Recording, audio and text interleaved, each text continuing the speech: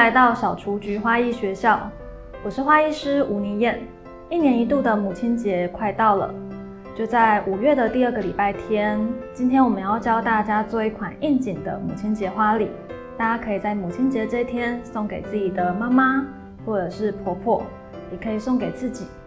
好，接下来我们进行花材介绍。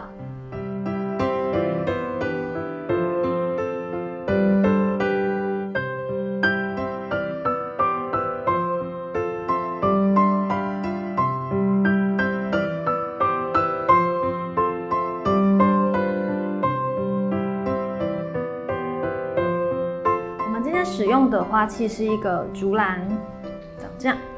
好，那这个竹篮呢，里面我们有先铺这个防水的塑胶袋，因为如果你没有铺的话呢，你直接放海绵，这个竹篮是会渗水的，所以我们就已经铺好了。接下来我们要来切海绵，我们先稍微量一下它的宽度。好，那我们把多余的切掉。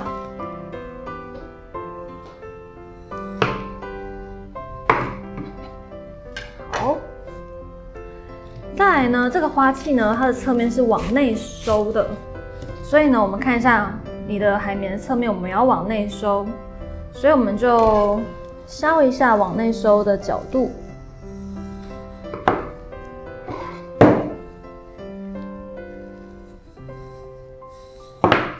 好，大家可以看一下，我们就修的跟你的海绵的形状是一样的，我们就放进去，看看可不可以。好，刚刚好，这样我们的海绵就烧好了。接下来呢，我们要帮这个竹篮在这里打一个蝴蝶结。那为什么会在插花之前先绑呢？因为如果说你花插完，有时候你这边也都是花，那你要再绑蝴蝶结，可能是会比较难绑的。所以我们就在插花之前先绑一下蝴蝶结。我们准备的是这个宽版的，嗯，玫瑰金的颜色。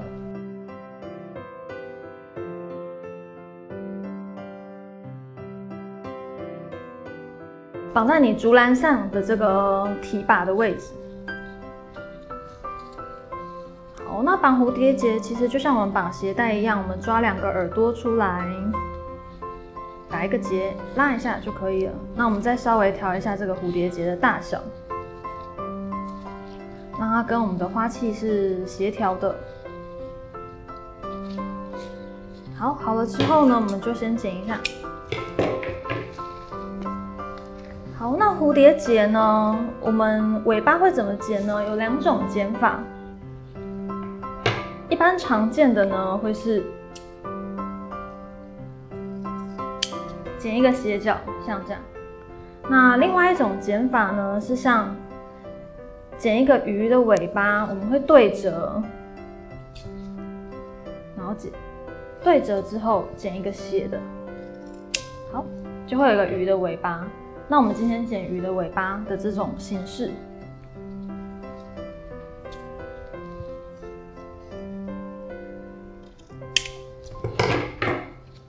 好，那我们的蝴蝶结就完成了。接下来我们就可以开始来插花了。好，首先呢，我们今天准备的主花是粉色的大菊花。那有一些人会问说，嗯，菊花不是很多人会觉得它。可能会是在丧礼的时候，或者是扫墓的时候会使用菊花。那今天特别选菊花，就是希望可以跟大家分享一个我自己对于花的想法。因为我觉得呢，花会赋予什么样的花语，其实很多时候是我们人赋予给它的，而不是植物主动的去散发说，哦，我代表丧礼，我代表什么？植物是无法去选择，所以我觉得让。菊花去定义为是丧礼的花，其实说它是比较不吉祥、不吉利的花。我觉得对于菊花来说，其实是比较不公平的，因为我觉得它这样蛮倒霉的。它可能每嗯就是努力的绽放，努力的盛开，可是我们却特别的去定义它，说哎只有丧礼可以用它，而且看到花就觉得它哎看到它就说哎你不吉利，你不吉祥。那我今天特别选了菊花来作为我们今天的主花，是因为我觉得呢。菊花是一个生命周期很强韧的植物，所以其实我觉得它代表象征的是很强韧的生命力，就像妈妈一样。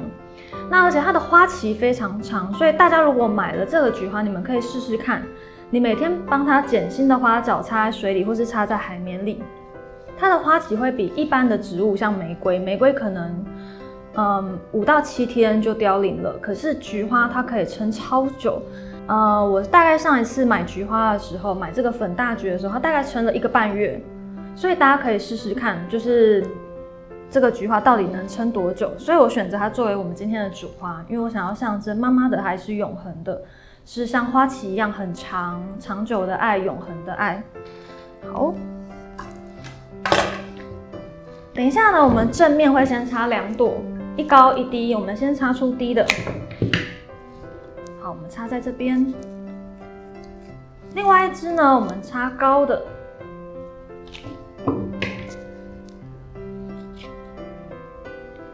好，所以现在这两朵花是我们的主花，你有一左一右，一高一低。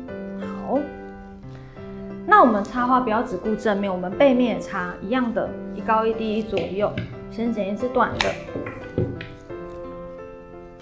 插低的。再剪另外一支，这支我们高一点点就好了，我们让它有点往后、往前倾，做出前面跟后面的它的层次出来。我们选择两种康乃馨作为我们今天的配花，分别是杏粉色以及淡粉色。那大家都清楚，母亲节就是大家最常见的代表花，就是康乃馨。但可能大家不知道，康乃馨作为母亲的花的起源是什么原因，它的典故是什么？那我一边插一边跟大家分享。其实康乃馨呢，它最一开始的典故是跟基督教这个圣经是有点关系的。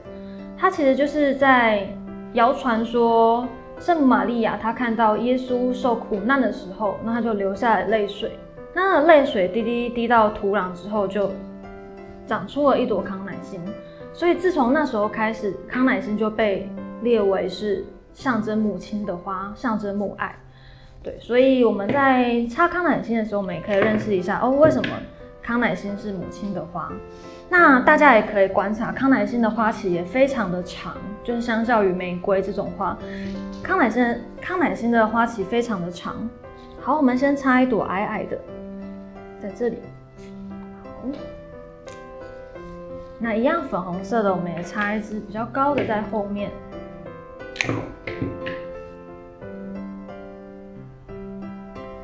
好，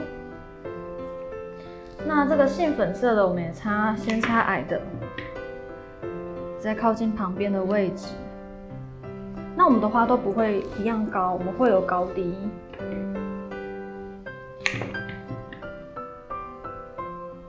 接下来我们插一支比较中间一点的。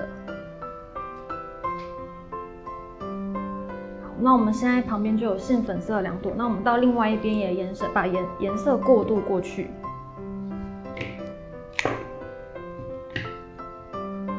那你们会发现我现在插花是比较往前插，因为很多同学插花会很喜欢在这个平面里面插，我想要让它跳出来，让作品更有立体感，像这样。你就会有前面、中间、后面的花。好，那我们转到背面吧。背面我们一样先插两朵粉红色的，插一朵在中间，低矮的，再插一朵高的在后面。那我们杏粉色呢？我们一样插三朵。很多同学问说：“老师，我到底要插在什么位置？有没有规定一定要怎么插？”其实没有，你就找空隙插。然后呢，记得不要花插在同一个高度。把握几个原则，我最常跟同学分享的九个方位，分别是高、中、低，然后前面、中间、后面，跟左边、中间、右边。所以插花你要提醒：哎，我现在有没有高？有没有中？有没有低？有没有前中后？就是每一个位置你都可以提醒一下，说，哎，我这我现在插了这个粉红色的康乃馨，它有没有高中低？有没有前中后？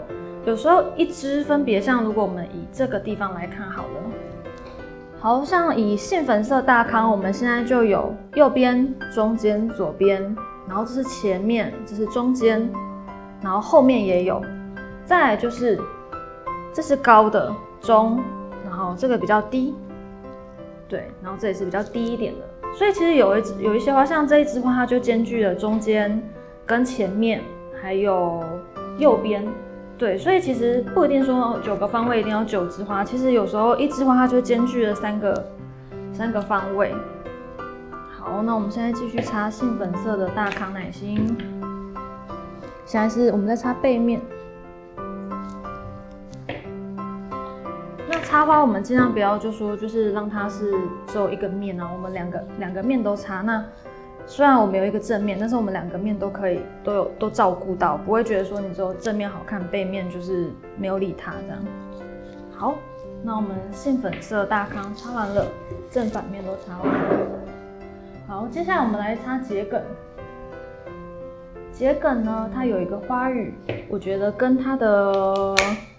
赏花期限也有很大的关系，因为它赏花期限也是偏长，然后所以它有一个比较常见的花语叫做“永恒的爱”。但我自己觉得“永恒的爱”应该是母爱啊，所以情人节很多人会喜欢放桔梗，因为觉得情人的爱是永恒的爱。但是我自己私心觉得永恒的爱应该是母亲的爱，所以我会觉得康乃馨也是永恒的爱啊，就是妈妈的爱。那现在桔梗呢，我们就找空隙插，没有规定你要插哪里。那记得要照顾到立体感，就是侧面看，你看我跳出来的花。所以记得我们插花都不要在平面插，我们要照顾一下。那像这样的花呢，有些人会觉得，嗯，想要单枝单枝插，但是其实你这样两支一起进去，它就有自然的层次了。所以像这种桔梗啊，我不一定会拆枝，我会可能让它一起进去，它就有自然的层次感。再来就是像很多同学会问我说：“哎，老师，这个桔梗还会开吗？如果不会开，我就把它丢了，就不插了。”嗯，其实还是会建议大家把它插到作品里，因为它这样就会有不同的效果，就是你会有含苞的、盛开的，你整个生命周期都在这个作品里。所以我觉得它看起来又是比较颗粒点状的感觉，然后所以相较于这种很大的块状，它会让整个作品比较。生动一点，就不会觉得说哦，都是同样的尺寸的花，同样的大小，所以含苞的的那个结构，我们还是都会把它插到作品里。那至于它会不会开，常常同学又说他照顾一阵子，其实根本都没有开，但是还是有遇到有同学他照顾了一个月，结果它开了，所以嗯，还是有可能会开，没有，就是不一定说不会开。所以大家如果说有兴趣，也可以照顾看看，看它会不会开。好，现在桔梗我们就找空隙插。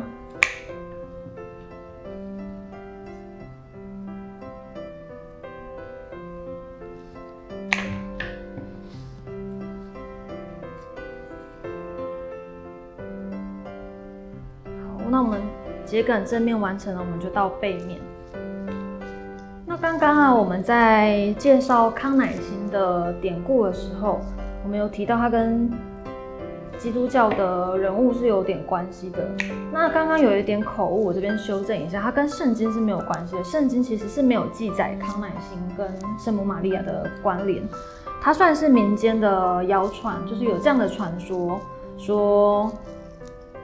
圣母玛利亚因为看到耶稣受苦难而流下眼泪，那流下眼泪之后，土壤就长出了一个康乃馨。那这个是不是圣经里面记载？它比较像是民间传说，所以跟大家更正一下。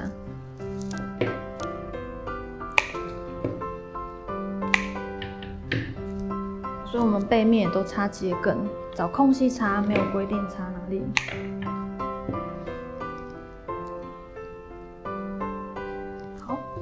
桔梗都插完了，接下来呢，我们要准备一些叶子。我们先把叶子穿插进去，我们就找空隙补，看到空隙都可以补。所以，我们其实一边插花就可以一边补叶子。因为如果说你把花都插完了，再来插叶子，有时候手会进不去，可能会没办法插，所以我们就一边插花就一边插叶子，让叶子穿插在整个作品里。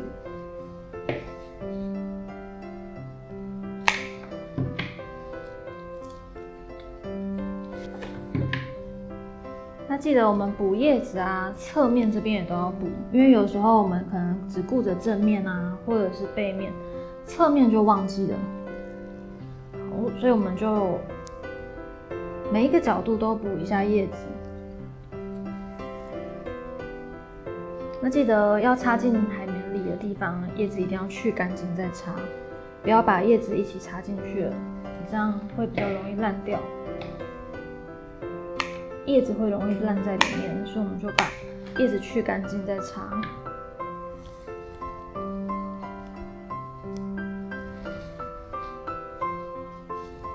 好，我们先补个段落，进行下一样花材。下样花材呢，我们特别挑选了比较有线条的、比较轻盈的花材，是翠珠和玛格丽特。翠珠呢，我们让它做线条的延伸，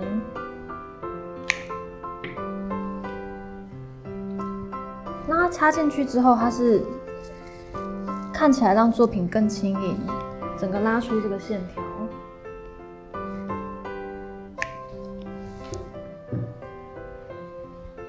所以我们就让翠珠穿插在作品里，它看起来会更有轻盈的感觉。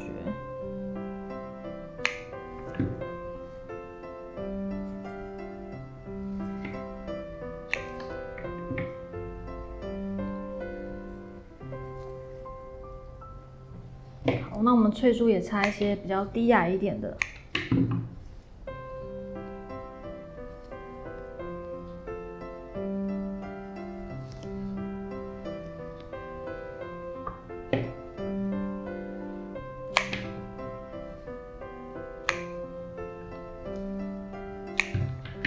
好，旁边也插一些，让它往旁边的线条。那我们现在我们的右边比较没有翠珠，我们也补一些在右边。好，这里补了一个翠珠。好，高的翠珠也补一只。好，那我们翠珠就补完了。接下来下一样花材呢是玛格丽特。玛格丽特它一样是比较轻盈的花材。们要让它穿插在这个作品里。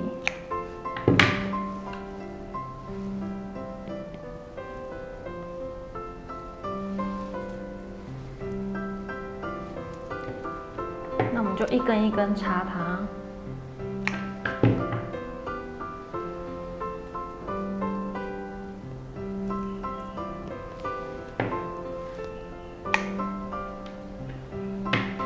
说有这种分叉的，也可以让它一起进去。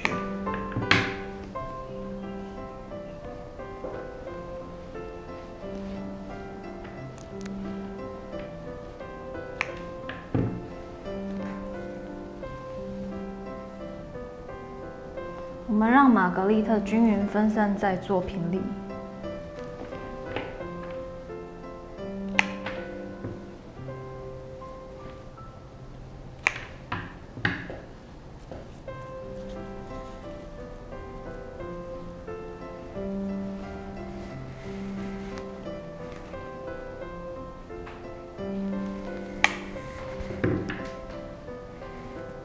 那我们正面玛格丽特就先补这样，我们来补背面。背面就用一样的方式，就是让玛格丽特穿插在你的作品里。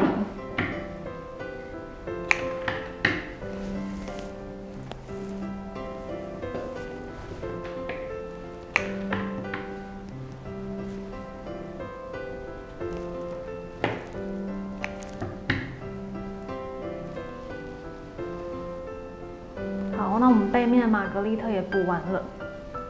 好，接下来呢，我们就把作品的空隙补一些叶子。那我们今天的叶子除了小圆叶尤加利叶，我们还有尖叶尤加利叶跟高山羊齿。好，那接下来我们就来补叶子吧，就把叶子补在空隙。一个作品里面，我们不会只有花，我们还是会帮它配一些叶子。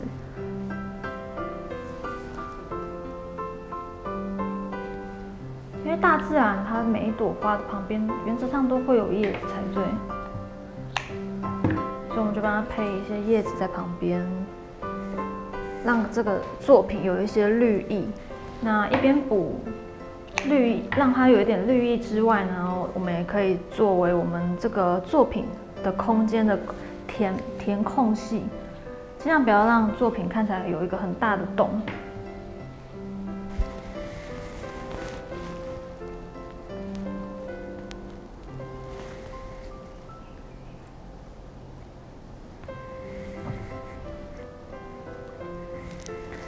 们的花越来越多啊，我们的手要进去插叶子或者插花，就难度会提高，所以大家就需要放慢脚步。因为如果说你的手进去的太快或者太大力，很容易让你的花受伤。所以我们就慢慢来。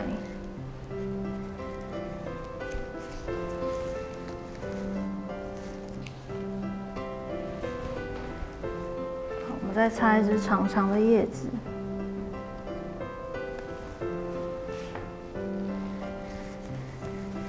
正面大概这样就完成。我们来看一下背面跟侧面，一样补空隙。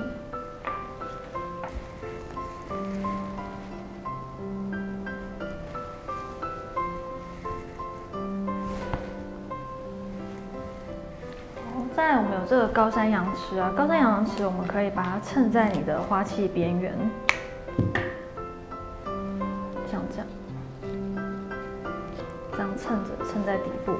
比较短，所以比较难进去到里面。我们就让它衬在你的花器边缘。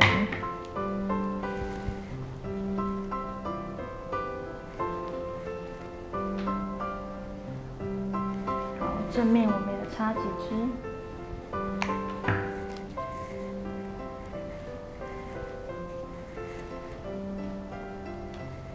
用的叶子有不同的样式。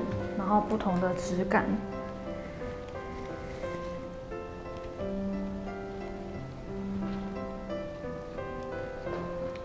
那我们今天的作品这样就完成了。好，这款母亲节竹篮花礼，那大家一定要留意哦，就是几个比较重要的地方，就是。用竹篮插花，一定要先帮竹篮里面衬一个防水的保护层，才能放海绵，不然它可能容易漏水。再呢，第二个就是还有一个很重要，就是你的那个蝴蝶结要记得先绑，因为如果说像我们现在花上完，其实你要绑蝴蝶结的难度是会提高的。再就是还有一个小小的重点，就是这个提篮啊，你要先把它立到中间，因为我常常会遇到同学，他的提篮是放旁边的。结果呢，他插完作品，提篮已经回不来了，所以我们提篮就把它固定在中间，这样你这个作品就是可以提的。再就是我们今天再跟大家复习一下我们今天的这个花礼的特色。我们今天的主花是选择了粉色的大菊花，那象征吉祥长寿。因为其实菊花它的生命周期是特别长的，所以其实它生命力很强韧，也会有。长寿的花语，所以我觉得用来今天祝福妈妈长寿是很适合的。再来就是我们选择两种颜色的康乃馨，有粉色的大康乃馨跟杏粉色大康乃馨，都是属于母亲节适合母爱的花，就是象征母爱、象征母亲的花。那其他的花材呢，我们都选择比较这种跳动感的，像翠珠跟玛格丽特。让这个作品看起来比较有跳动感，所以你看，如果说一阵风吹来，这些跳动感的花材，像是玛格丽特啊，或是翠珠，它就会让这个作品增加一点轻盈感。那我们今天的作品这样就完成了，祝福大家母亲节快乐！